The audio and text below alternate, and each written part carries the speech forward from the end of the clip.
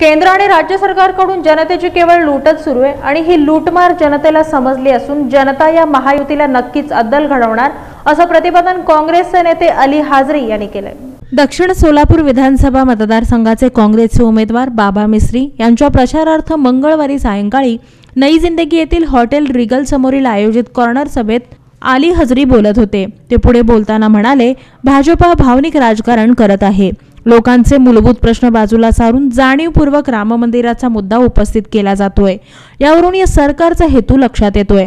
अशा राजकारणाला आता संपवा महायुतीला धडा शिकवा असं आवाहन काँग्रेसचे नेते आली हाजरी यांनी उपस्थितांना यावेळी केलंय. जिसको मैंने कारपोरेशन में जिस जब कारपोरेशन लड़ रहे थे मिस्त्री साहब तुम आया था प्रचार में उसके बाद जीते थे मुझे इसकी बड़ी खुशी हो रही है। इलेक्शन का वक्त है। कई पार्टियाँ अलग अलग अपना अपना एजेंडा लेके चल रही हैं। कोई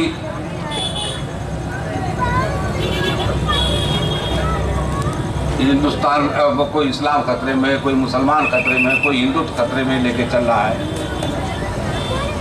इस वक्त देश का ऐसा माहौल बना हुआ है।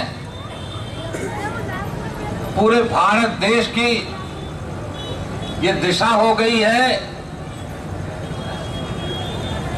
चारों तरफ़ से गाँव गाँव से, खेत खलियान से, बच्चे नौजवान से, मजदूर किसान से, हर तरफ़ से एक आवाज़ आ रही है कि चला जा रहा है चमन धीरे धीरे लुटा जा रहा है वतन धीरे धीरे मुझे याद आता है गुजरा जमाना वो होली के मौके पे हंसना, हंसाना, दिवाली की ईदें खुशी से मनाना, बदलता चला है चलन धीरे धीरे, लुटा जा रहा है वतन धीरे धीरे। नहीं जिनकी तहजीब का कुछ ठिकाना, हमें देशभक्ति का देते हैं ताना। कहीं राम मंदिर का लेकर बहाना, जमाने पे छाया गहन धीरे धीरे। लुटा जा रहा है वतन धीरे धीरे।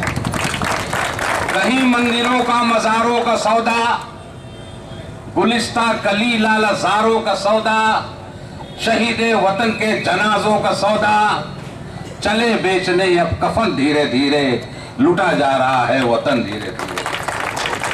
ऐसे में सोनिया गांधी जी ने आवाज़ दिया है कि मेरे देश के शेरे नर नौजवानों है सेहरा तुम्हारे ही सर नौजवानों, उठो बाँध लो कमर नौजवानों, के समी से मिला दो गगन धीरे धीरे, लुटा जा रहा है वतन धीरे धीरे। वो ताकतें जो हिंदुस्तान की आज़ादी में अंग्रेज़ों की मुखबरी करती रही, अंग्रेज़ों से माफ़ी मांगती रही, जिनके आस्तीन में आज भी बाबाए कौम, मोहनदास करमचंद गांधी का खून है वो हमसे देशभक्ति की सर्टिफिकेट मांगते हैं, वो राष्ट्रवाद की बात करते हैं। मैं चैलेंज दे के कहता हूँ कि बीजेपी और जितनी फासिस्ट ताकतें हैं, इनके लोग जंग आज़ादी में एक भी आदमी को अगर सजा का बताते मैं ज़िंदगी भर गुलामी करूँगा। व्यासपीठावर माजी महापौर यू एन बेरिया, आरिफ शेख, नगरसेवक चेतन नरोटे, शिवलिंग कांबळे, प्रवीण निकाळजे नगरसेविका अनुराधा काटकर, परवीन इनामदार माजी नगरसेवक हारुण सय्यद यांची यावेळी प्रमुख उपस्थिती होती. आज आप लोगों ने मुझे सत्तानवे में नगर सेवक बनाया। जब से लेकर आज तक मुझे इलेक्शन में चुनाते गए और मैं आपकी खिदमत करते गया, बल्कि आपकी नहीं बल्कि पूरे शोलापुर शहर में और शोलापुर ज़िले के बाहर भी मेरी खिदमत होने शुरू हुई। ये वो सब आपकी दौलत। आज मुझे टिकट मिला कांग्रेस पार्टी से एक मुस्लिम समाज कर बोल के। कुछ लोग मुझे टिकट मिला वो छोड़ के जा रहे। लेकिन मुझे छोड़ के जा रहे लेकिन मतदान मेरे पास आ रहे। आपको पता रहे कंदलगांव, भंडरकोटा निम्बरगी वडकबाड़ मंदूप अड़सठ गाँव के अंदर। पूरे गाव के अंदर मुझे सपोर्ट मिला की बाबा मिस्त्री चांगला माणूस आहे ते लोकांचे काम करते बोलतो आज ये बापू की सभा होने नहीं दिए तेलगांव में लोग हकाले वहाँ पे। आज बरूर में झगड़ा किया है, उनकी सभा होने नहीं दिए ये सब तुम्हारी दौलत है, बदौलत है। आप लोगों ने मुझे बड़ा नहीं बना होता। तो आज क्या मैं महाराष्ट्र के इलेक्शन लड़ा होता?